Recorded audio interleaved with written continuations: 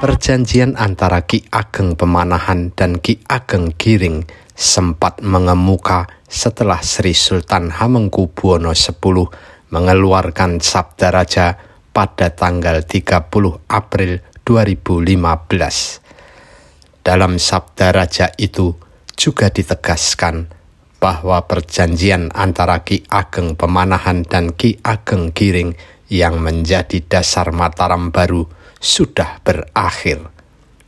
Banyak yang terus penasaran sebenarnya apa isi perjanjian antara Ki Ageng Pemanahan dan Ki Ageng Giring itu?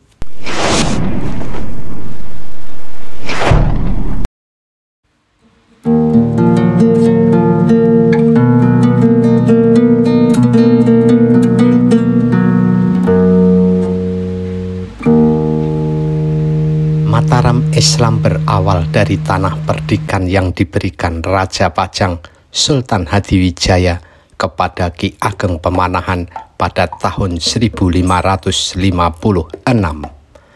Pemberian ini sebagai hadiah atas jasa Ki Ageng Pemanahan dan putranya Danang Sutawijaya serta Ki Panjawi dalam menumpas Arya Penangsang pada tahun 1549.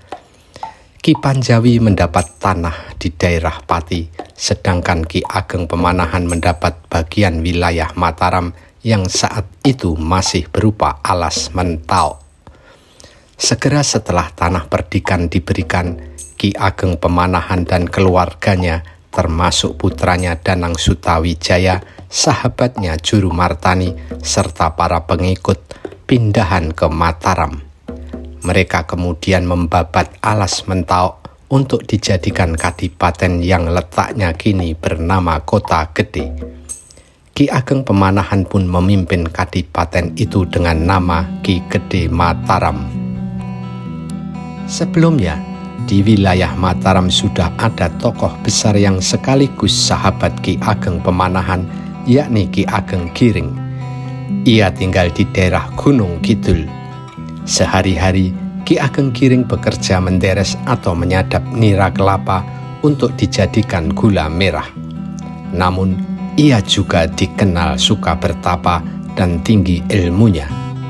Dikisahkan oleh babat Tanah Jawi, suatu hari saat menyadap nira, Ki Ageng Giring mendengar suara dari pohon kelapa yang selama ini tak pernah berbuah dan kini memiliki buah tunggal pohon itu mengeluarkan suara yang bunyinya, Wahai Ki Ageng Giring, ketahuilah, siapa yang minum air tegan ini hingga habis seketika, kelak anak keturunannya akan menjadi raja penguasa tanah Jawa. Ki Ageng Giring pun kemudian memanjat pohon itu dan mengambil kelapa muda atau tegan satu-satunya tersebut. Lalu ia mengupasnya dan meletakkannya di rumah, karena saat itu belum haus dan air kelapa muda itu harus diminum sampai habis sekaligus. Ki Ageng Giring kemudian pergi ke hutan terlebih dulu dan akan meminum di siang hari ketika benar-benar haus. Kepada istrinya, ia berpesan agar tak seorang pun boleh mengambil kelapa muda itu. Namun, saat Ki Ageng Giring ke hutan, Ki Ageng Pemanahan datang ke rumahnya dan kehausan. Karena sudah seperti saudara, ia langsung masuk ke dapur di rumah Ki Ageng Giring untuk mencari legen atau air nira yang biasa dikumpulkan Ki Ageng Giring.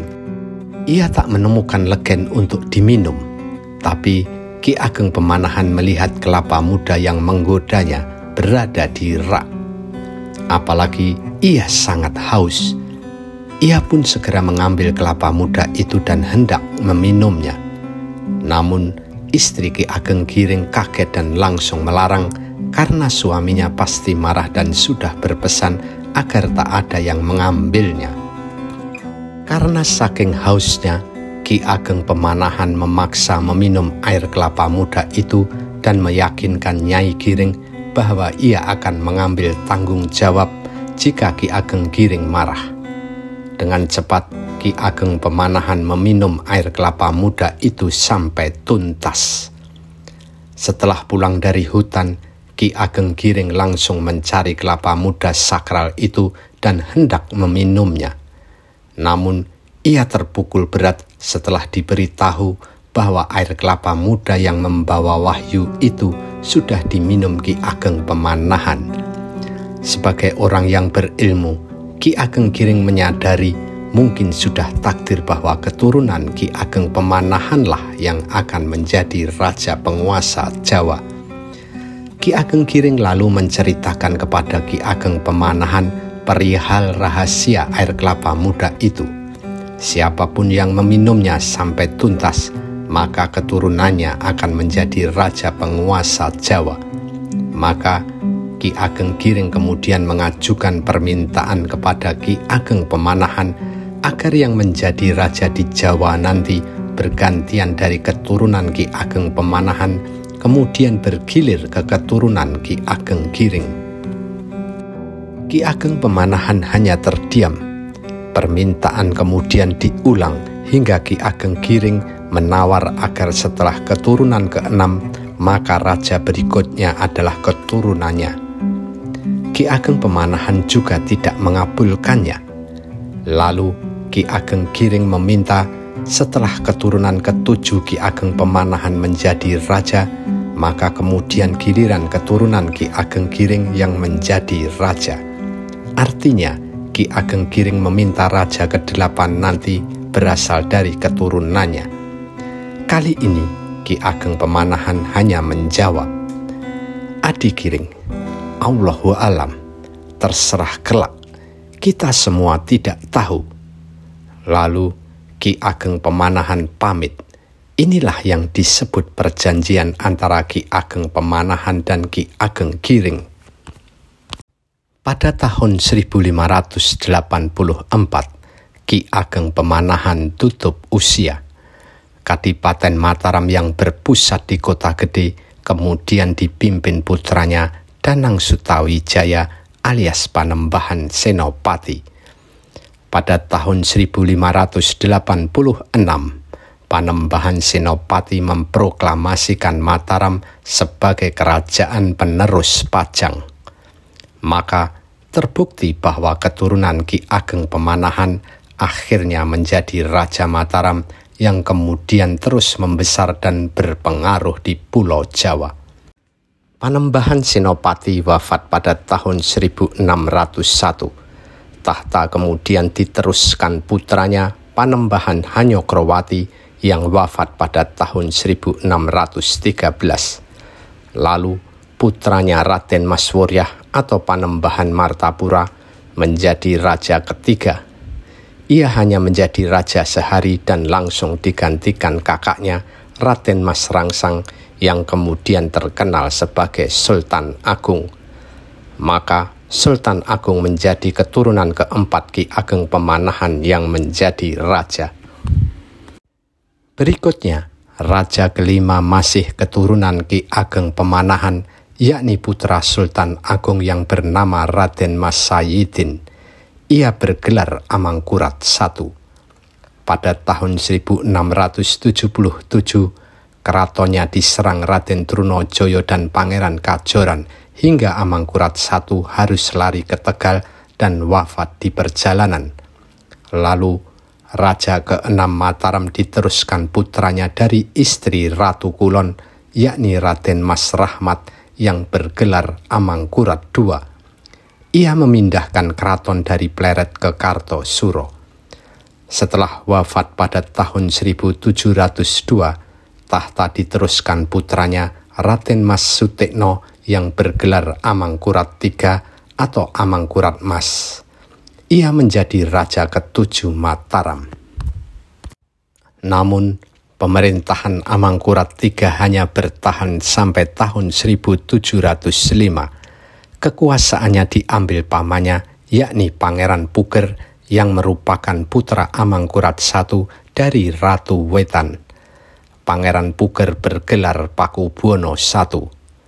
Nah, Pangeran Puger atau Paku Buwono I itulah yang dinilai memiliki garis keturunan Ki Ageng Giring.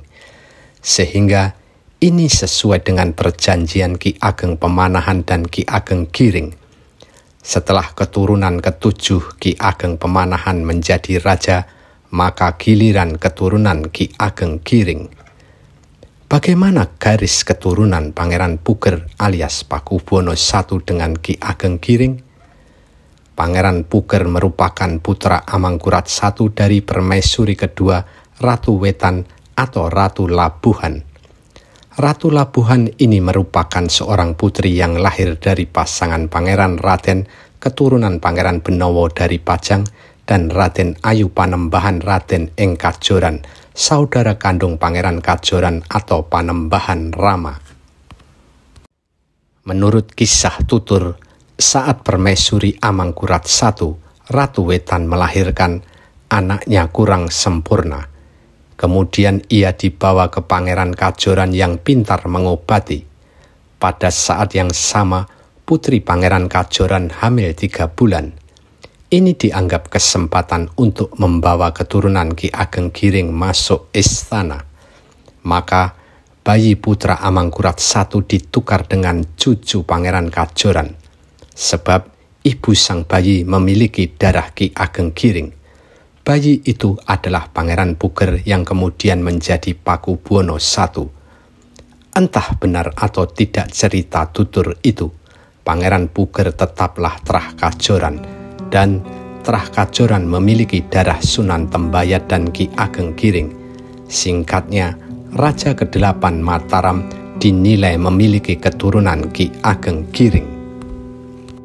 Menurut Sri Sultan Hamengkubuwono X dalam Sabda Raja, selama ini perjanjian antara Ki Ageng Pemanahan dan Ki Ageng Giring yang menjadi dasar munculnya Mataram baru sesuai dengan perubahan gelar Sultan dan sabda raja yang disampaikan Sri Sultan Hamengkubuwono X menjadi tanda berakhirnya perjanjian antara Ki Ageng Pemanahan dengan Ki Ageng Giring.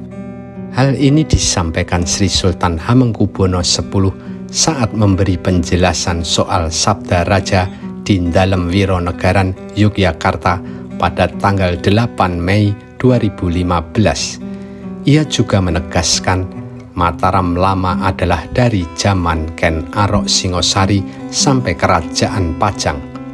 Sedangkan Mataram baru adalah berdasar pada perjanjian antara Ki Ageng Pemanahan dan Ki Ageng Giring. Sekarang perjanjian itu sudah berakhir dan sudah tidak ada lagi perpisahan antara Mataram lama dengan baru. Demikian kata Sri Sultan.